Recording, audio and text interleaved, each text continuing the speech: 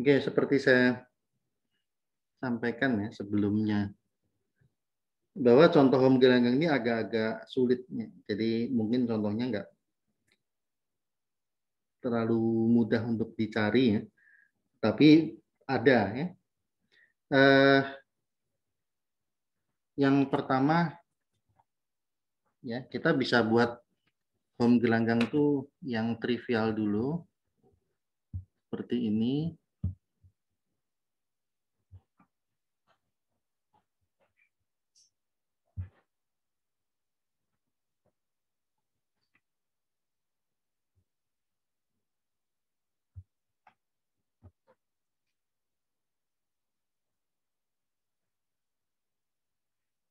Ya, kita beberapa contoh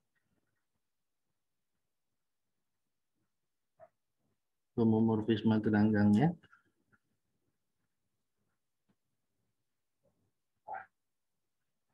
Yang pertama misalkan R dan S, keduanya gelanggang.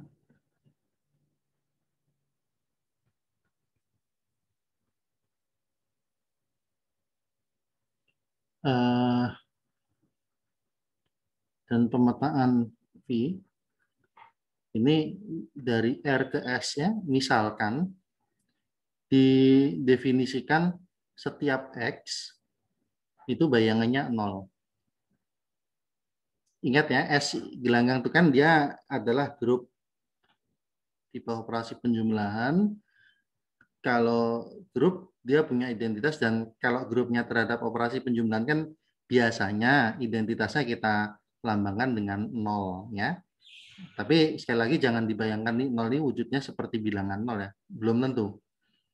Karena objek di S itu macam-macam ya, bisa bilangan ya. Kadang-kadang dia ada himpunan bilangan ya. Atau kadang-kadang dia adalah himpunan matriks. Kadang-kadang dia himpunan fungsi ya seperti yang kita lihat di, di contoh-contoh gelanggang ya. Kadang-kadang ini juga kita kasih ident, uh, tambahan keterangan 0S ya untuk menandai 0 ini hidupnya ada di himpunan S ya. Karena R sendiri juga punya 0, punya unsur 0. Tapi nolnya R dengan nolnya S bisa jadi dua buah objek yang berbeda gitu. Oke, sekarang kenapa kok ini di uh, kita katakan adalah homomorfisme gelanggang ya. Jadi V, jadi pemetaan V adalah homomorfisme gelanggang. Kenapa? Karena jika kita punya X1, X2 anggota R, maka Ya, karena untuk setiapnya untuk setiap X1, X2 anggota R kita punya X1 tambah X2 ini kan sama dengan 0S kan ya. Karena aturan dari V itu kan semua dipetakan ke 0 tanpa kecuali. Sementara 0S ini kan bisa ditulis sebagai 0S ditambah 0S. Namanya unsur 0 kan ya sama dengan apa 0 eh, ditambah 0 ya. Oke. Dan ini sama dengan X1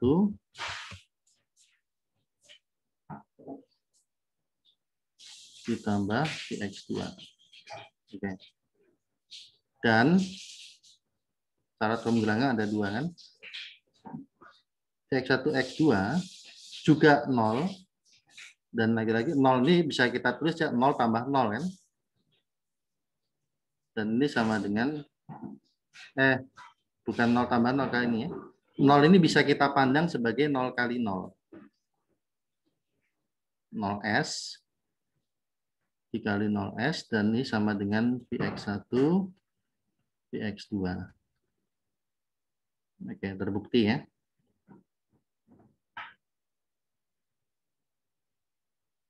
Kemudian yang kedua, jadi jadi terbukti ya, V ini namanya pemetaan nol ya atau homomorfisme nol. Jadi semua yang ada di domain dibawa ke nol.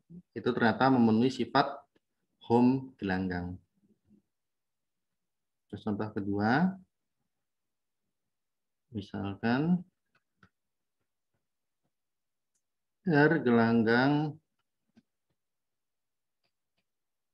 dan IR adalah pemetaan identitas di R ya.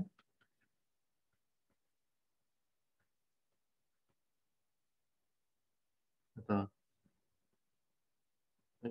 notasi yang lebih umum aja deh. Misalkan saya pakai psi ya.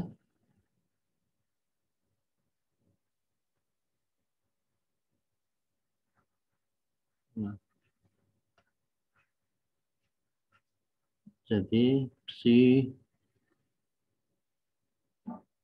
RR itu memintakan X ke dirinya sendiri ya. Ya, ini yang kita kenal sebagai pemetaan identitas. Oke. Kita dengan mudah bisa periksa ya bahwa kalau kita punya X1, X2 anggota R, kita akan dapatkan si X1 plus X2 sama dengan apa? Ya, semua unsur bayangannya adalah dirinya sendiri maka X1 tambah X2 bayangnya adalah X1 tambah X2. Tetapi X1-nya sendiri bisa dipandang sebagai, sebagai si X1 dipandang sebagai si X2. Kemudian X1 kali X2 bayangannya adalah dirinya sendiri. X1 adalah bayangan dari X1, X2 adalah bayangan dari X2. Jadi ya home ya. C adalah home ring ya home pelanggan nah yang pertama dan kedua ini kita katakan home yang trivial ya trivial itu maksudnya adalah sangat jelas terlihat atau sangat mudah lah kita sangat mudah atau, atau sangat sangat mudah dibentuk nah ya Nah, sekarang contoh-contoh yang tak trivial bagaimana yang agak lebih agak rumit ya. Tidak sesederhana itu. E, contohnya misalkan ini.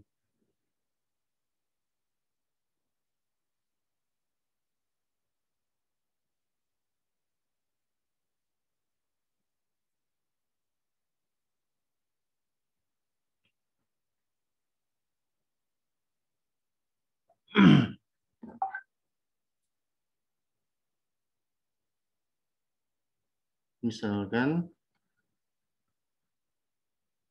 sebutlah sigma ya, memetakan integer bilangan kita sudah periksa ya bahwa bilangan bulat itu kan gelanggang. Terus contoh lainnya dari gelanggang itu kan pernah kita bahas itu Zn ya. Oke di mana X atau A bayangannya adalah A mod N. Apa arti A mod N? Ini adalah sisa pembagian A oleh N ya. Oke. Jadi kalau kalau di sini misalkan dari Z katakanlah ke Z5 ya. Berarti 7 itu nanti bayangannya adalah 2. Karena kalau 7 di bagi 5, sisanya 2. Kan? Kalau minus 3, bayangannya apa? Ada yang tahu nggak?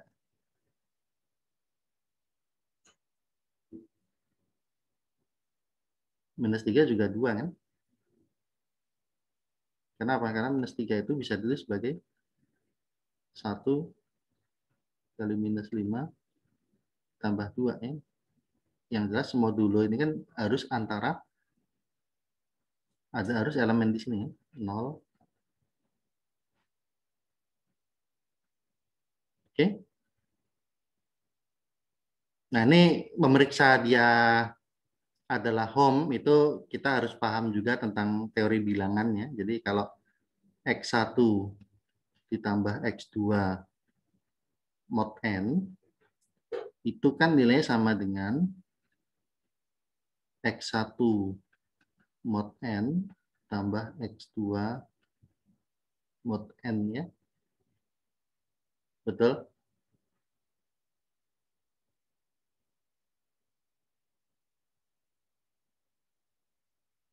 Uh, sorry, ini bukan sama dengan, tapi lebih kepada kongruen ya. Kongruen, karena karena jumlah ini tambah ini tuh bisa jadi di atas n ya. Tetapi masih kongruen, artinya kalau ini dihitung lagi mod n-nya sama gitu. Oke. Kayak misalkan kalau eh, kita punya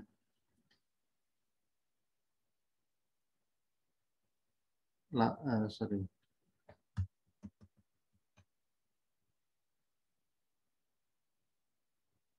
Sembilan mod lima itu kan empat. Oke. Okay. Uh, kemudian berapa?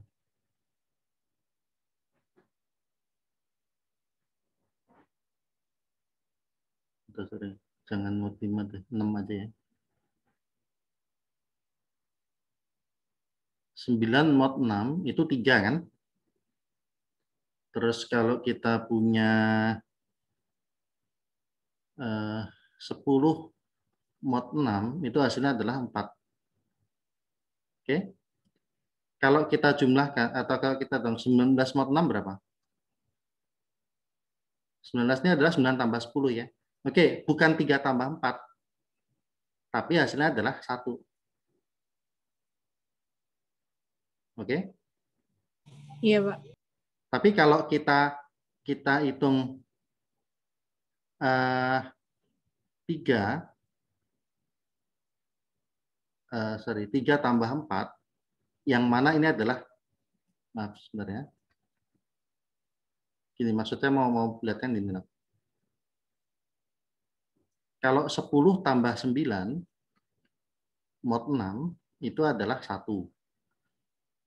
Kalau 9 mod 6, tambah 10 mod 6, itu memang hasilnya adalah 7. ya. Oke, memang memang satu tidak sama dengan 7, tapi satu kongruen dengan 7. Kalau kita bicara sistem modulo 6. Itu maksudnya.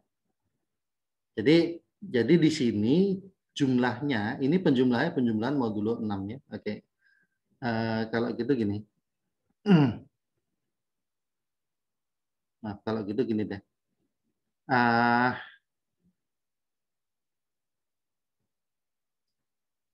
kalau mau aman, biar supaya ini jadi sama dengan ya, supaya jadi sama dengan, oke ini jumlah Tapi sebenarnya di sini jumlahnya adalah penjumlahan mod n ya. Sama kalau kita jumlahin 3 tambah 4, kalau kita pakai penjumlahan biasa 7 memang, tapi kalau kita pakai penjumlahan modulo 6, hasilnya uh, langsung 1. Gitu. Seperti itu ya.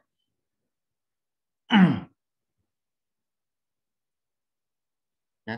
Kalau mau sama dengan ya oke okay, ini jadi plus tapi dalam modulo n.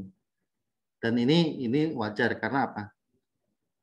Kalau di sini penjumlahnya oke penjumlahan biasa karena dia di sini ini hidupnya masih di Z, tapi yang di sini ini hidupnya sudah di Zn. Nah untuk perkalian pun kita juga punya sifat begini. Tapi ini saya nggak akan bahas detailnya ya. Ini ada bahasanya di teori bilangan. X1 mod N dikali X2 mod N. Tapi lagi-lagi ini perkaliannya adalah perkalian modulo N. Gitu. Ya, nggak bisa nggak ditulis ya, tapi perkalian modulo N. Nah, jadi ini adalah contoh home gelanggang juga, ya, yang bentuknya tidak terlalu trivial ya. Oke, tidak tidak asal tidak langsung semua diborong ke nol atau tidak karena misalkan sama terus setiap unsur bayangnya dirinya sendiri ya. Oke, satu contoh lagi gini. Uh, misalkan delta dari bilangan kompleks ke bilangan kompleks. Uh, Mudah-mudahan pernah belajar bilangan kompleks nih. Z dipetakan ke konjugatnya. Apa itu konjugat? Jadi kalau Z itu adalah A ditambah BI, konjugatnya adalah A minus BI. Ya. Dalam sistem bilangan kompleks, kita punya sifat begini. Kalau jumlah dua unsur, katakanlah Z dan W,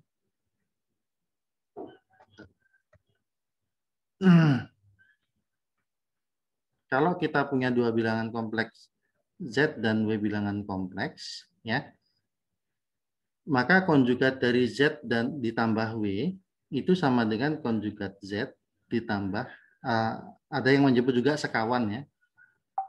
Uh, kalau diterjemahkan ya konjugat biasa dikatakan sekawan. Ya. Ada uh, kemudian kalau hasil kalinya ditarik konjugatnya itu sama dengan perkalian konjugat masing-masing gitu. Kalau yang atas melihatnya mudah ya. Jadi misalkan Z itu adalah A tambah BI W-nya adalah X tambah YI, kita akan punya Z tambah W itu adalah A plus X ditambah B plus Y, I. Sehingga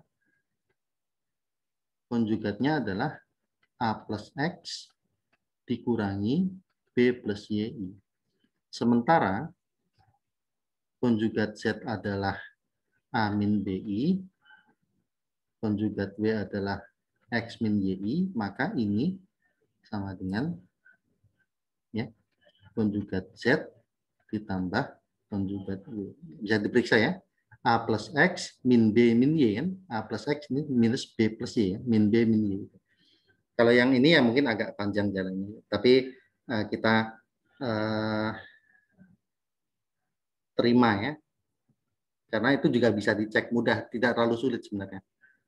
Oke. Okay. Nah, ini beberapa contoh ya, home dari gelanggang. Oke. Okay.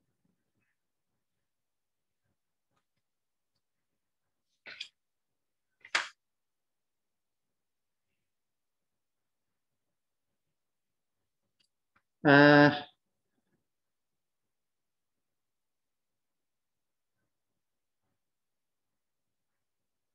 sebagai catatan begini.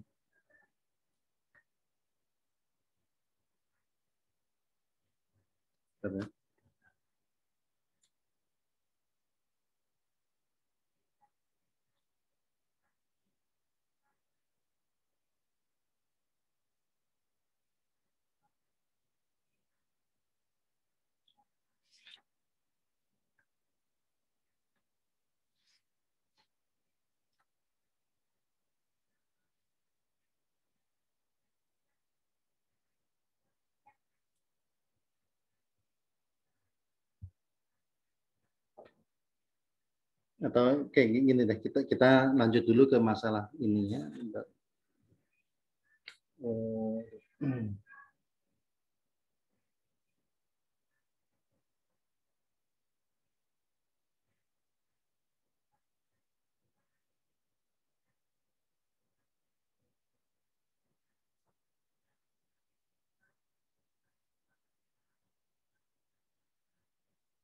Untuk ini saya buat catatan dulu.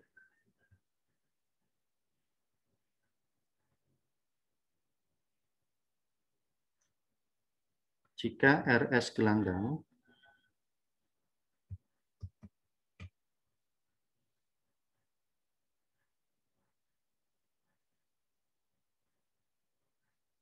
maka RS kan keduanya memuat unsur nol.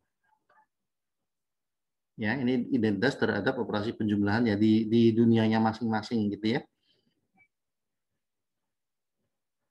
Telah kita ketahui bahwa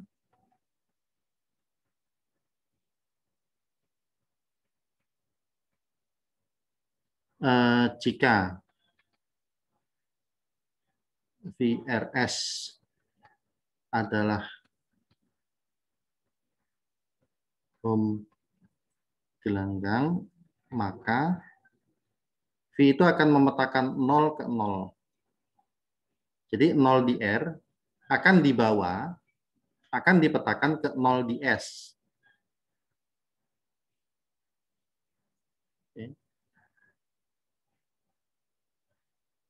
Jika RS keduanya mempunyai unsur kesatuan, oke, ingat kalau gelanggang pasti punya unsur nol, tapi kita tidak ada keharusan keduanya punya unsur satu ya, unsur kesatuan satu ya. Mungkin aja R-nya punya, S-nya enggak, atau R-nya S-nya R-nya tidak punya, tapi S-nya punya ya. Jika R dan S itu keduanya punya unsur kesatuan, ya, eh, kita tidak akan mendapatkan hasil seperti yang di eh, untuk unsur nol. Jadi kalau kalau nol kan memang bawaannya ada semua ya, pasti R punya, S punya, nolnya R dibawa ke nolnya S. Tapi seandainya R sama S dua-duanya punya unsur kesatuan ya, eh, di sini kita tidak akan selalu atau gini tidak dijamin ya tidak ada jaminan bahwa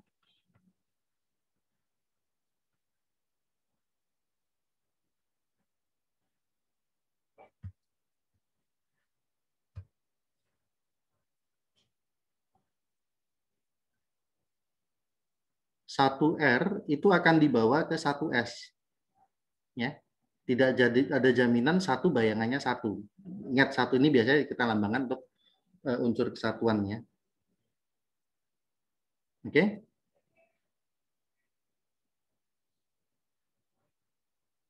Nah, ada kondisi-kondisi tertentu yang akan menjamin ya. Jadi ada kondisi tertentu yang menjamin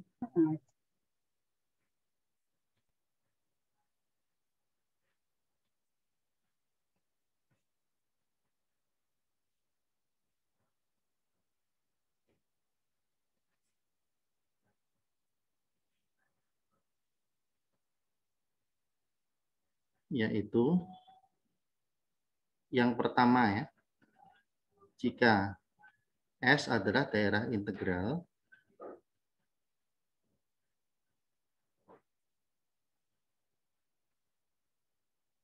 atau jika eh, V ini pada atau surjektif ya, ingat pengertian pada itu tidak lain adalah uh, subjektif ya. Jadi kalau salah satu ini terpenuhi ya, kalau pemetaannya itu kalau S ini daerah integral, kita akan punya jaminan atau bisa dipastikan bahwa bayangan dari satu R itu akan sama dengan satu R Jangan beresin. Kemudian Kak, kalau V-nya pada, ya, jadi kondisi satu boleh saja tidak terpenuhi, tapi yang terpenuhi kondisi dua. Oke, V-nya pada atau subjektif. Maka itu pun nanti juga kita akan dapat akan uh, punya jaminan bahwa uh, satu R bayangannya satu S. Oke, ini nanti akan kita bahas ya di kesempatan yang lain ya, tidak sekarang. Nanti akan ada contoh latihan soalnya yang eh, seperti ini yang memperlihatkan. Tapi sekarang kita tidak eh, ke sini dulu. Ini hanya sebagai catatan dulu ya, catatan sementara bahwa ya nanti bahwa suatu saat kita akan memperlihatkan ini. Uh, sekarang uh, kita mau bahas dulu tentang kernel dan image ya. Kernel atau inti dan bayangan dari suatu home gelanggang. Kalau di home group ingat kita punya istilah kernel dan image ya atau inti dan bayangannya. Mudah-mudahan masih ingat. Jadi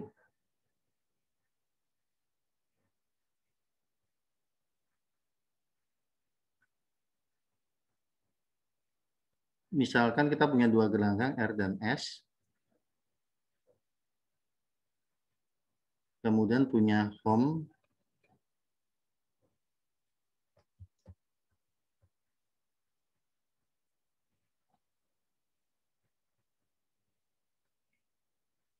inti ya inti atau kernel dari V adalah himpunan unsur-unsur di R yang dipetakan ke nol. Ya, nolnya ini nol di S ya. Jadi kita bisa tulis dalam notasi himpunan. Eh, waktu itu notasinya apa ya? Pakai K ya. KV itu adalah himpunan X anggota R di mana Vx-nya adalah 0. Oke. Kemudian peta atau image dari V adalah himpunan bayangan dari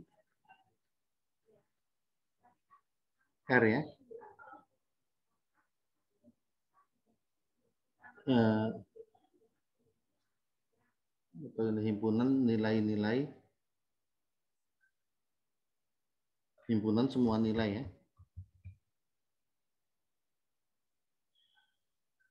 Itu semua peta atau semua bayangan ya.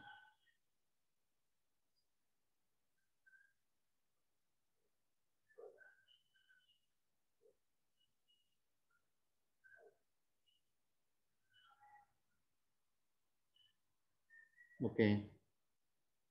Uh, ini saya lupa waktu bicara grup dulu tuh notasinya gimana ya. Maunya sih konsisten ya, tapi gini.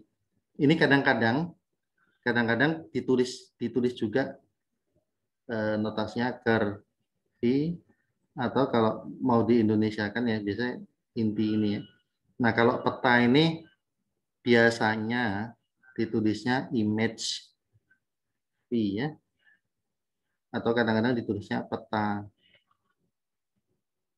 Oke. Oke, saya pakai notasi image saja deh ya. Ini adalah himpunan di R ya, di mana R-nya anggota R. Atau kalau dalam pemetaan biasa kita kenal sebagai range-nya jangkauan atau daerah hasil gitu. Oke.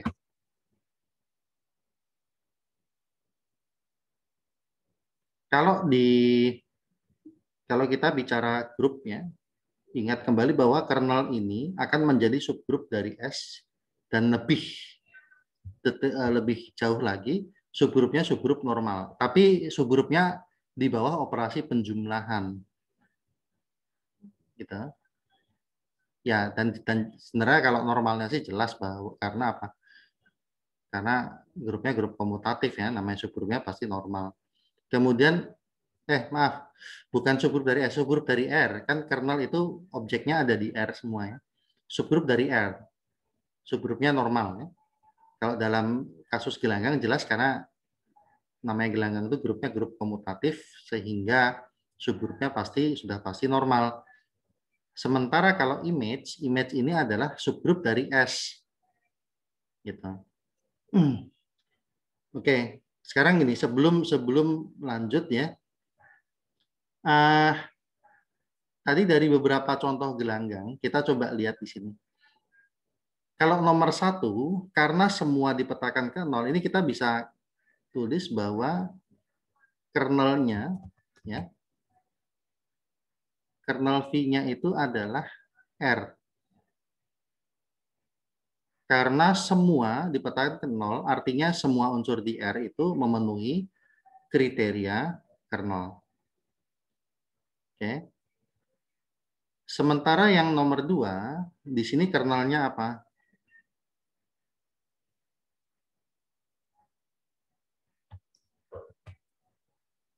Kalau R-nya, eh, kalau posisinya adalah pemetaan identitas, siapa yang bayangannya nol? Ya satu-satunya yang dipetakan ke nol adalah nol itu sendiri sehingga kernelnya hanya memuat satu unsur yaitu nol. Oke. Contoh ketiga, A eh, sigma memetakan A ke remindernya ya, dibagi N ya, A mod N. Apa kernelnya?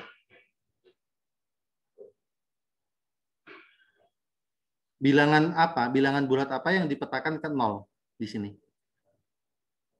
Ya jelas, kalau A mod N itu nol, artinya A itu kelipatan N kan? Jadi bilangan-bilangan yang dipetakan ke nol itu adalah semua bilangan bulat kelipatan n-nya. Jadi bisa kita tulis sebagai n kali z. nz-nya, nz ini kan menyatakan bilangan bulat kelipatan n. Oke.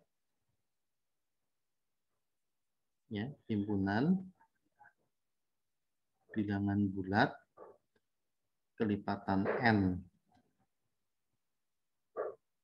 Kemudian ya Siapa yang dipetakan ke nol ya? Jadi kalau konjugat Z adalah nol, maka Z-nya adalah konjugat nolnya. Karena kalau kita punya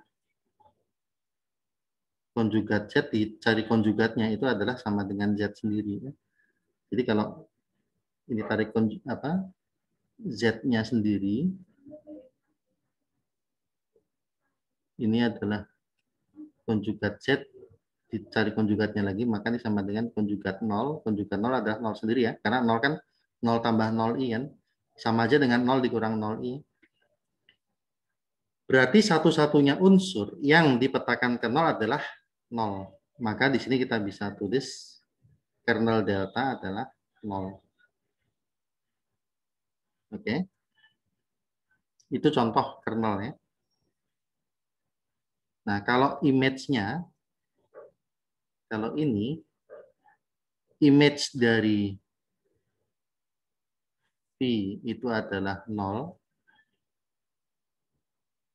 Gitu. Karena daerah hasilnya cuma ada satu unsur, yaitu 0S-nya. 0. ya kan? Satu-satunya bayangan adalah nol. Kalau di sini bayangan dari atau image-nya apa? Image dari adalah R ya, image dari besi adalah R. Karena semua unsur di R itu punya perapeta kan. Kita ngambil sembarang unsur di R, unsur uh, U misalkan, ya di sini ada unsur U juga yang bayangannya adalah U.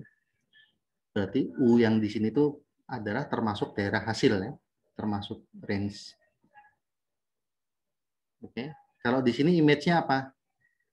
Ya, kalau dari bulat ya tentu habis ya karena bilangan bulat ini kan memuat semua bilangan ya yang uh, remindernya ke n itu mulai dari 0 sampai n-1 ada semua gitu.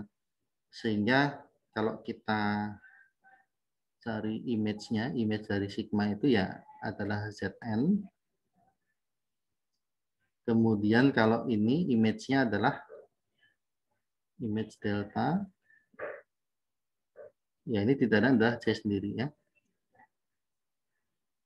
Karena konjugat dari konjugat Z adalah Z ya. Artinya setiap unsur di sini pasti punya prapeta. Ya, kita punya unsur apa? Misalkan 3 plus 4i ya. konjugatnya berarti asalnya itu adalah 3 min 4i gitu. Ya, perapetanya. Oke, seperti itu ya.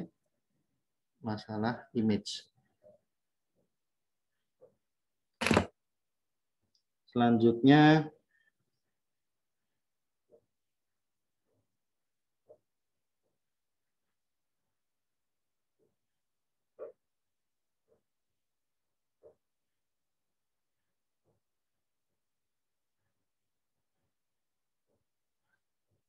uh, kita juga punya teorema yang se analog ya dengan yang di grup ya.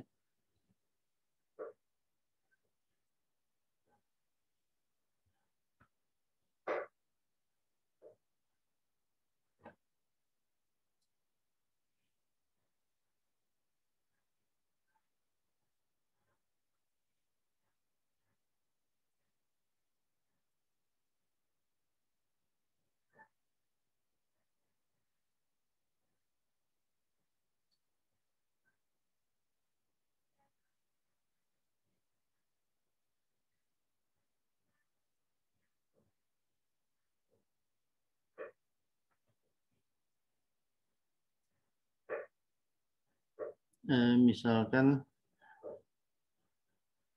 atau suatu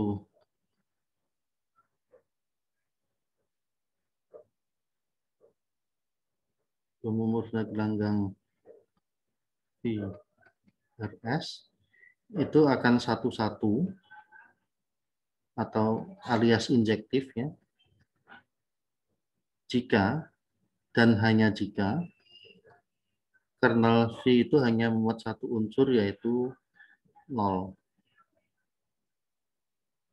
Oke, namanya kernel itu nggak pernah kosong ya, karena kita tahu nol bayangannya nol. Jadi sekurang-kurangnya dia pasti akan punya satu anggota yaitu nol. Nah, ketika anggotanya cuma satu, satunya adalah nol, itu dijamin home yang terbentuk pasti adalah home satu-satu ya, atau injektif. Oke, ini seingat saya pernah dibahas di grup karena grup kan juga punya home dan ada sifat begini. Uh, seingat saya pernah dibahas dan juga buktinya. Jadi ini akan saya skip saja. Kemudian jika ini definisinya, jika BRS ini adalah bersifat satu-satu pada, maka V itu disebut suatu isomorfisme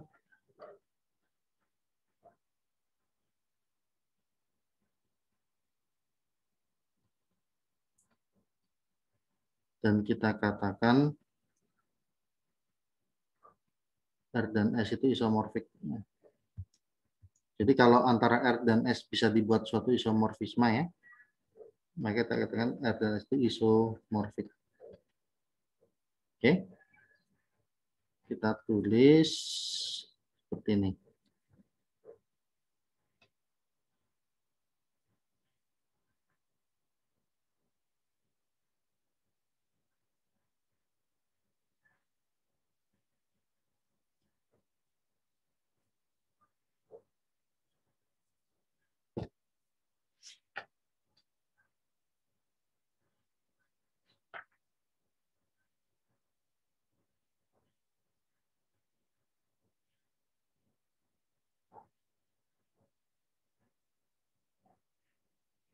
Oke, benar.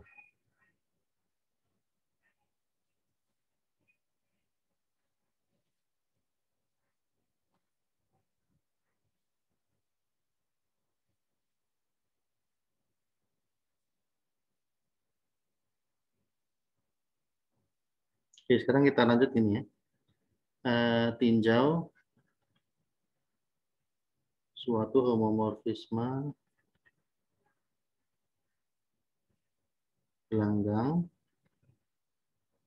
sebutlah V ya, dari R ke S. Sorry. Misalkan uh, diberikan.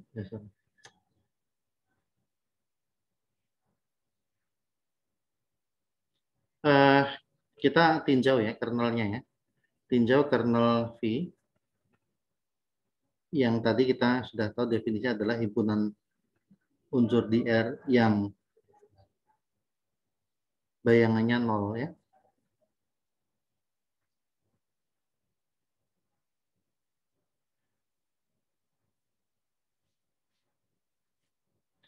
Oke, pertama gini, telah kita ketahui ya, ini bahasan ketika belajar grup dulu, telah diketahui bahwa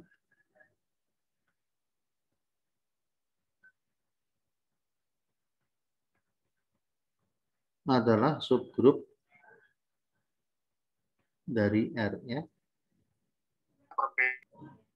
Oke, sekarang ini misalkan R anggota R ya.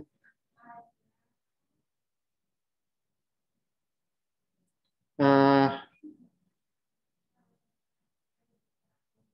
kita lihat bahwa perhatikan bahwa kalau kita memetakan V, ya, memetakan Rx oleh V ya, karena ini adalah ohm, maka ini kan sama dengan VR, PX. Itu kan? Eh, maaf, maaf. maaf.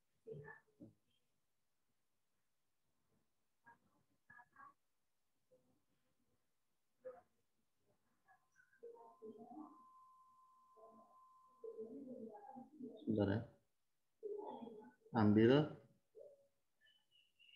X anggota KP sembarang dan R anggota R ya. Ingat, X anggota KP, R-nya anggota R ya. Jadi R-nya bisa aja anggota KP juga atau bukan anggota ya. Bisa anggota kernel juga bisa bisa juga bukan anggota kernel. Ya.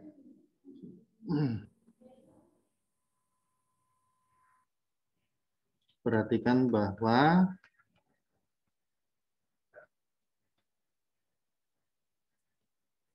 V Rx karena dia home ini kan berarti menisbat VR kali Vx.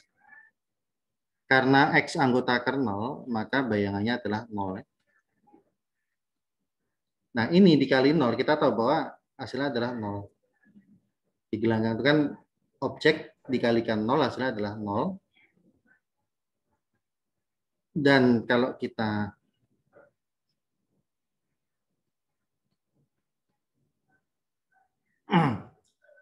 Eh, petakan juga, tapi urutan sebaliknya XR ya. Ini sama dengan VX kali VR dan VX adalah 0S ya. Maka saya adalah 0S. Kesimpulannya apa nih? Jadi baik RX maupun XR keduanya adalah anggota kernel juga. Oke.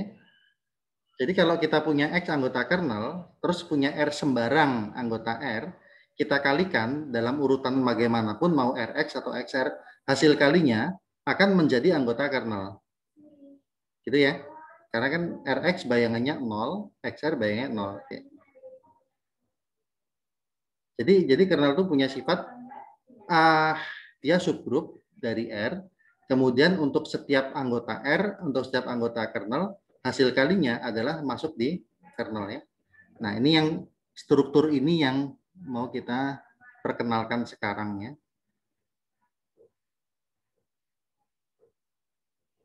Oke.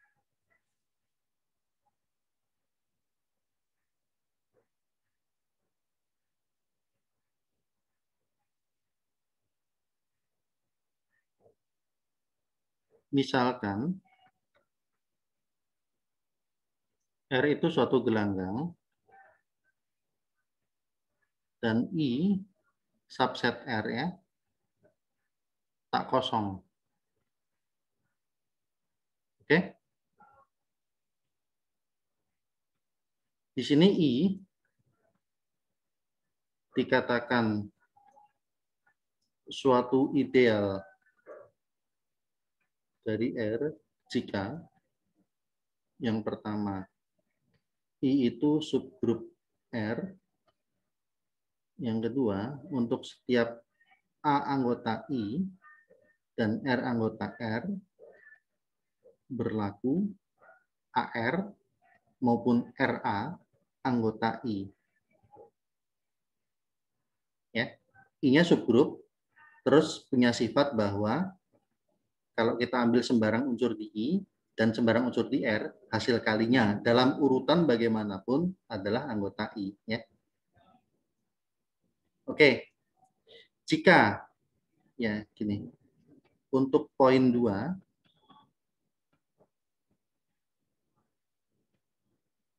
jika hanya berlaku RA anggota I, maka I disebut ideal kiri dari R. Sedangkan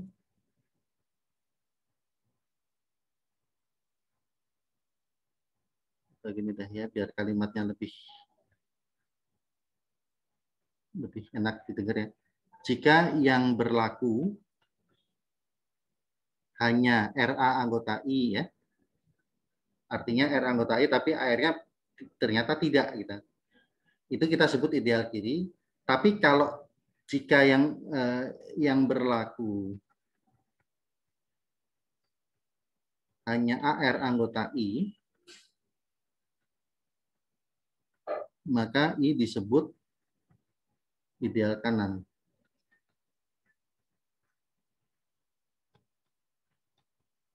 Nah, kalau yang berlaku dua-duanya ini sebenarnya disebut ideal dua sisi atau cukup dikatakan ideal saja tanpa menyebutkan arahnya ya, kiri atau kanan gitu. Oke. Nah, sebagai contoh ya, ideal itu tadi gini.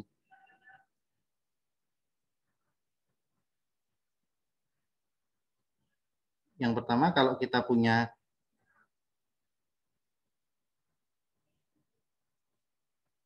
home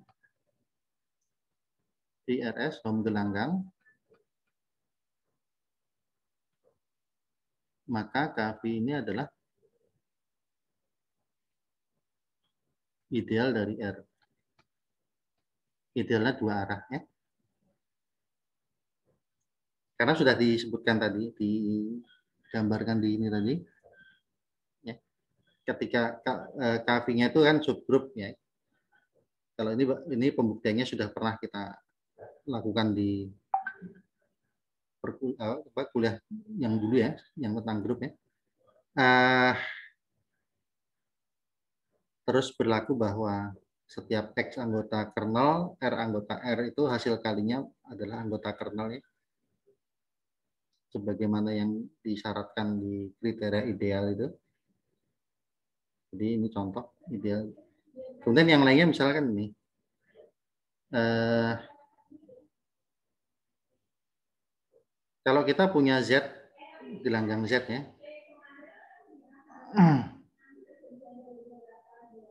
Jadi misalkan Z ini himpunan bilangan bulat, terus katakanlah N bilangan asli, N bilangan asli ya. Kalau kita buat timbunan NZ itu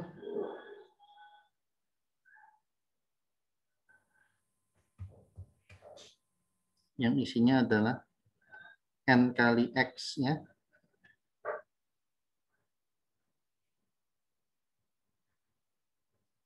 Jadi ini isinya apa? Himpunan bilangan bulat kelipatan N kan?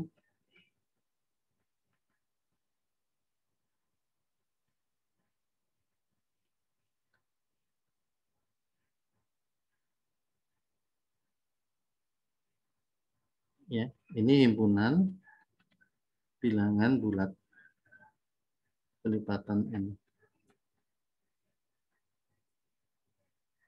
kalau kita mau menunjukkan nz ini subgrup ini mudah ya.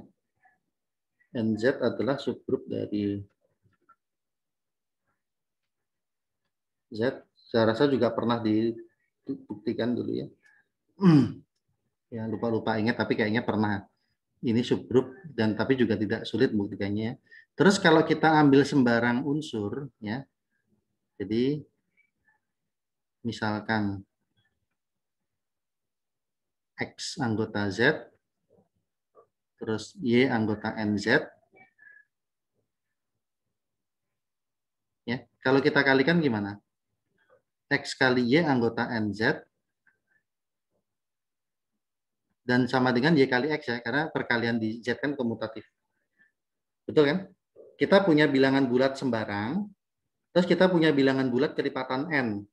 Kalau kita kalikan, hasilnya pasti bilangan bulat kelipatan N kan?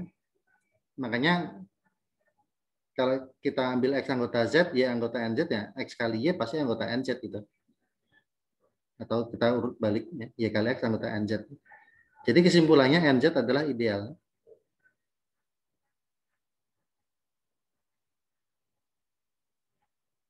Dari Z ya.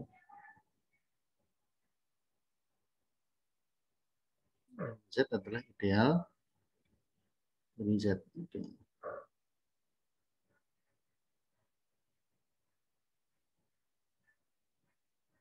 Oke. Uh, kalau mau contoh ideal satu sisi ya, misal gini.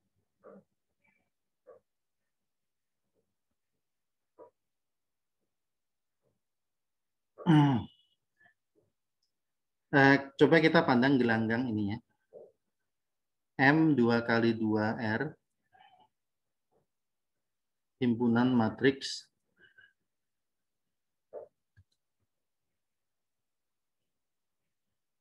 ABCD dengan ABCD anggota real. Ya, ini kan adalah suatu gelanggang ya.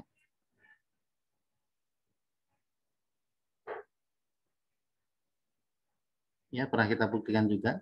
Seingat saya pernah ya.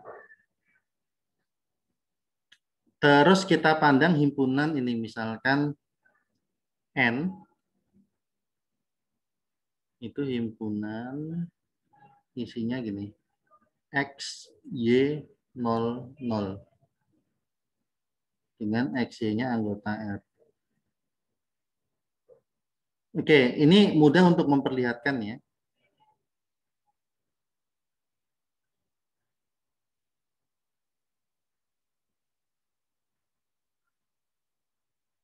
Bahwa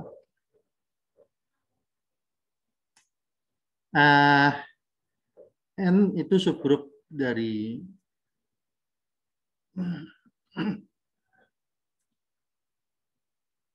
M2 kali 2R ya. Ya, silakan dicoba aja buat uh, latihannya. Subgrup. Kemudian sekarang ini, kita ambil aja sembarang unsur ambil suatu matriks A anggota N, B anggota M2 kali 2R. Kalau A anggota N, di sini kita bisa tulis atau gini deh.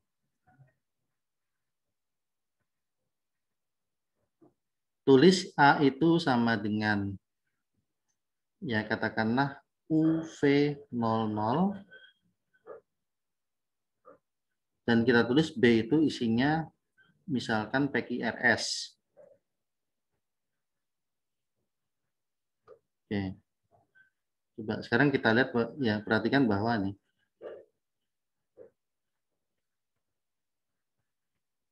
Kalau kita kalikan AB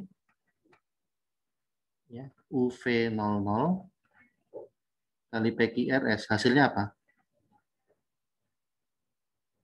Hasilnya akan sama dengan apa? UP. UP plus VR, ya kan? Ya, Pak. UKI plus VS, terus ingat ini bawahnya 0. Oh, ini. Ini anggota M. Ya. Jadi kalau kita ambil sembarang anggota N sembarang anggota M22R hasil kalinya, tapi dengan catatan unsur N-nya di sebelah kiri ya. Maka uh, hasil kalinya masuk di N. Tapi kalau kita balik di kanan enggak, sudah tidak berlaku lagi ya. Tapi sepanjang unsur di N-nya taruh di sebelah kiri, dikalikan dari kiri, itu anggota N ya. Maka kita katakan di sini N adalah ideal kiri. Dari M2 kali 2R. Contoh ideal kiri seperti itu. Ideal kiri tapi bukan ideal kanan ya. Kalau di dua contoh sebelumnya kan idealnya ideal dua arah. Ya ideal kiri ya ideal kanan. Gitu. Oke.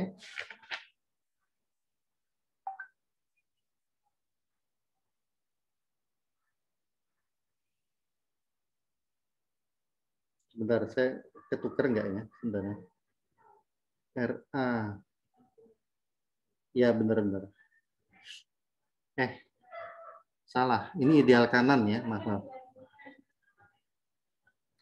Kalau unsur di R-nya dari kiri,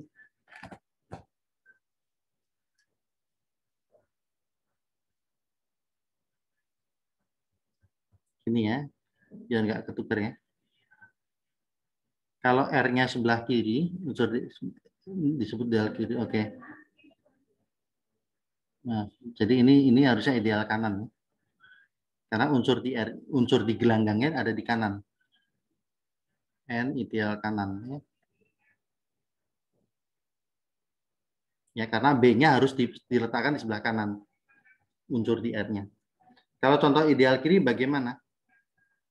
Ya.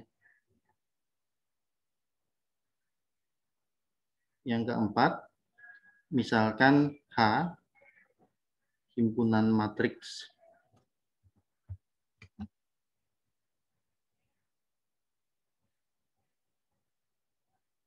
X0, Y0, XY-nya anggota bilangan real. H ini adalah sama ya, bisa diperlihatkan dia adalah subgrup dari M 2 kali 2R. Terus kalau kita ambil eh, katakanlah C anggota H, terus D anggota tulis C-nya itu ya ini aja X0 Y0 D-nya PQRS ya.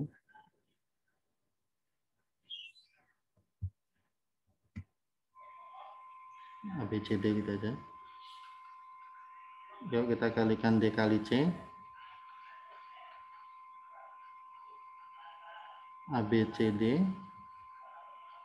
X0 Y0 ini jadi AX tambah BY terus di sini 0 ya terus di sini CX tambah DY ini 0 dan ini masuk anggota H jadi kita ambil sembarang anggota H anggota dan anggota M nah perkaliannya asal anggota M-nya diletakkan di sebelah kiri itu pasti masuk anggota H. Maka di sini kita katakan H adalah ideal kiri.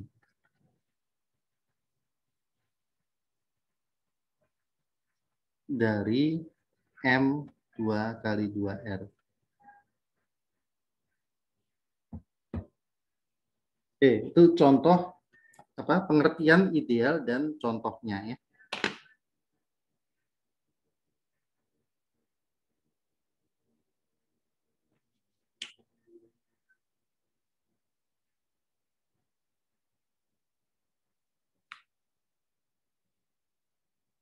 Oke, ini ada banyak sekali ya soal tentang idealnya, contoh soal yang bisa kita. Tapi mungkin kita akan bahas beberapa aja dulu ya. Hmm.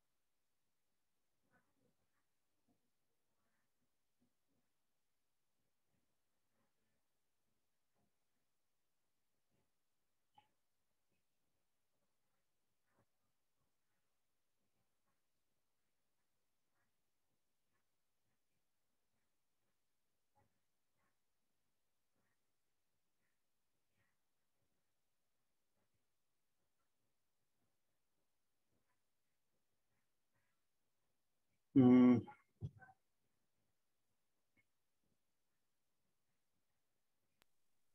Pak, maaf mau tanya dulu, Pak. Ya, setelah Uh, tadi kalau nggak salah yang apa ngasih tahu definisi ideal itu atau kan ya, Pak?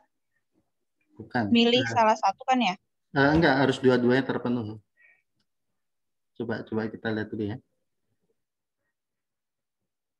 Ini ideal ya. Jika I dan ini ya. Oke, ini dan ya. Wal- Kalaupun tidak ada keterangan ya, jika area dua-duanya ini harus terpenuhi gitu. Ini semua harus terpenuhi. Oke, jelas Bu? Oh, Iya, ya, jelas Pak. Makasih. Jadi eh, terutama yang ini ya, hasil kali AR dan RA harus anggota I. Kalau R-nya komutatif ya, gelanggang komutatif, operasi perkalian komutatif ya, cukup kita nyatakan AR anggota I ya otomatis RA juga karena AR dan RA-nya sama. Tapi secara umum kan AR dengan RA itu beda ya. Kalau gelanggangnya non komutatif kan AR kali RA itu bisa jadi beda. Nah, kalau kita bicara idealkan del kiri baru salah satunya terpenuhi ya, yang satunya enggak, itu disebut ideal satu sisi gitu. Kalau hanya AR anggota I itu disebut ideal kanan, ya. AR anggota I tapi RA-nya tidak, itu ideal kanan. Kalau RA-nya selalu anggota I tapi AR-nya tidak, itu kita sebut ideal kiri seperti itu. Oke. Mungkin ini mungkin gini, ada beberapa soal dulu aja, enggak banyak kita sebagai awalan ada dulu. Misalkan R gelanggang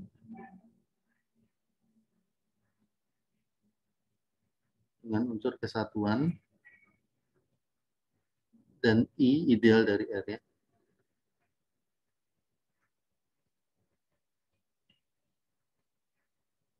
Oh ya, sebentar. sebentar. Ah, kelewat sedikitnya.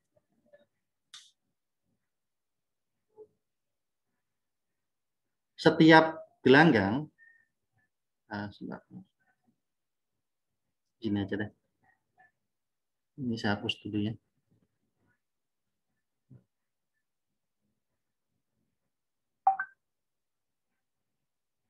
Gini.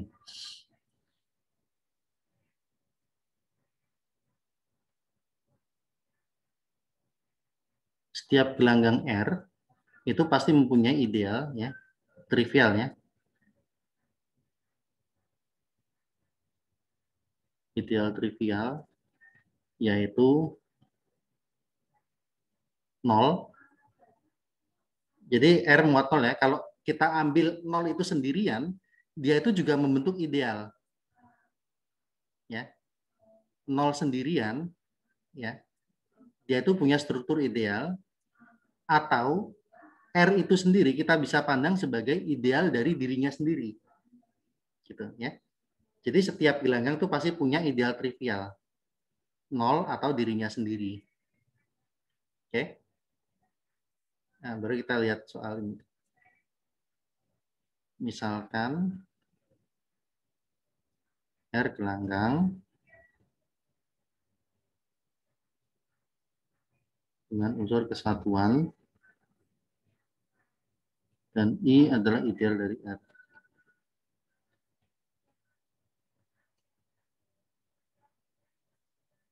Tunjukkan bahwa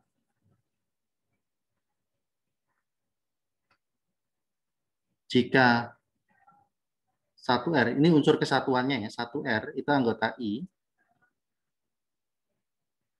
maka I itu sama dengan R. Ya. Yang kedua, jadi I-nya itu tidak lain adalah R ya, ideal dari dirinya sendiri. Misalkan R gelanggang dan UV keduanya ideal.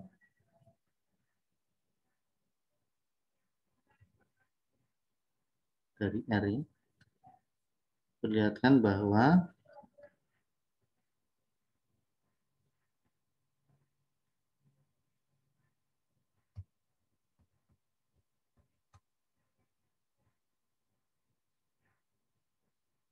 U iris V adalah ideal.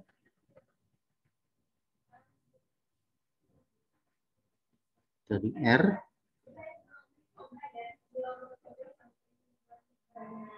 Nah, terus yang ketiga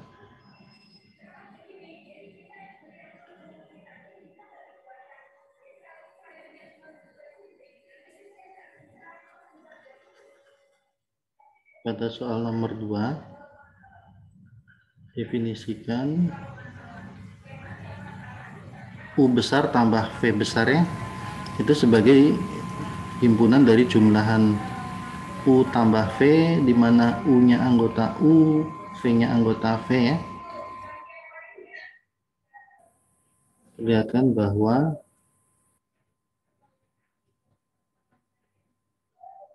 U plus V adalah ideal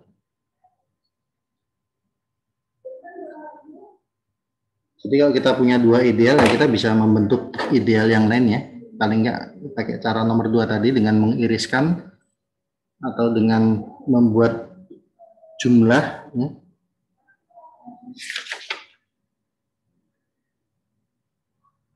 Oke, ya udah ini dulu. Sekarang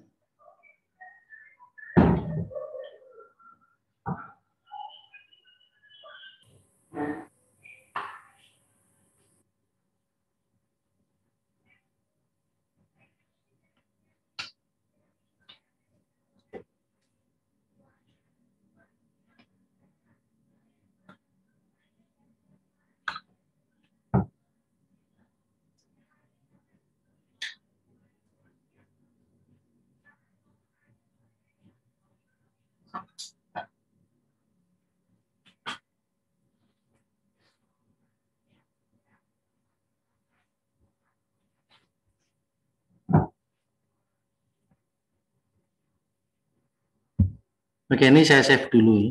Uh, sepertinya ini saya tinggalkan dulu buat ya, disimpan dulu aja. Nanti pekan depan saya mau pakai buat review saja. Jadi materi dari awal dari pertama kali ya tentang grup sampai bahan untuk UTS-nya. Terus pekan berikutnya lagi UTS Nah, nanti berarti tiga pekan setelah ini kita masuk lagi, baru akan saya bahas soal ini ya.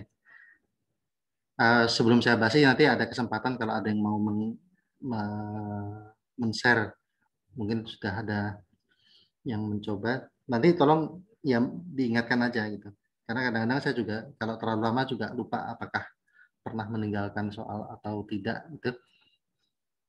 Jadi nanti setelah UTS ketika kita masuk lagi, saya akan lanjutkan dengan mulai dari bahas soal ini dulu ya. Nanti tolong diingatkan aja ada soal yang masih saya tinggal. Nanti saya kasih kesempatan kalau ada yang mau mencoba, uh, udah mencoba terus mau mendemonstrasikan jawabannya silakan. Tidak perlu khawatir benar atau salahnya ya, nggak ada masalah. Jadi buat hari ini sepertinya cukup sampai sini dulu. Ada yang mau disampaikan dulu tidak? Atau ditanyakan ya? Terkait perkuliahannya atau ujiannya. Yang jelas nanti saya usahakan bisa secepatnya saya umumkan bagaimana teknis ujiannya gitu.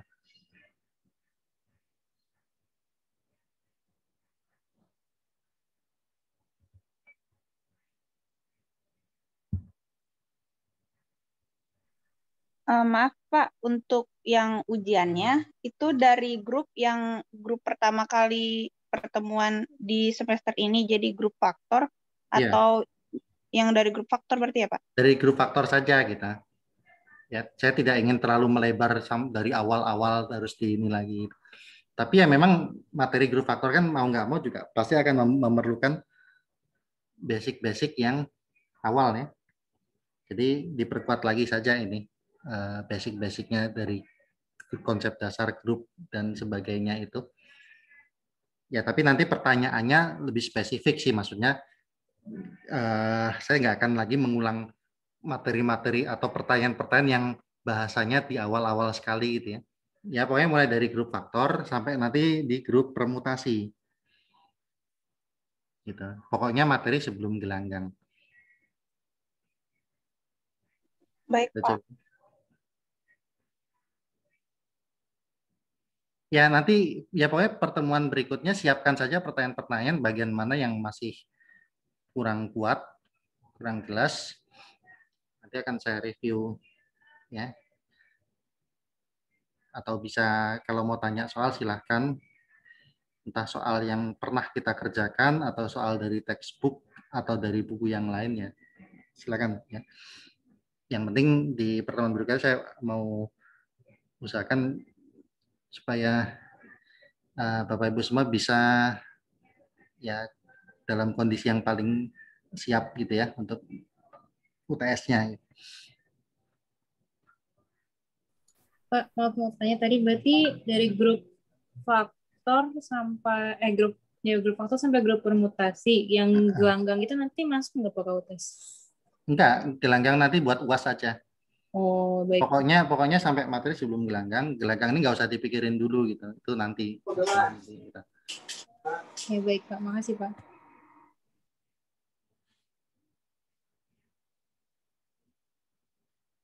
Oke.